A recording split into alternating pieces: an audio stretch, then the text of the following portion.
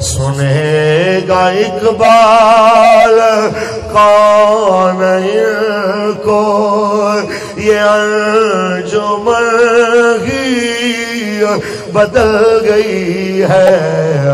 नए जमाने में आप हमको पुरानी बातें सुना रहे हैं।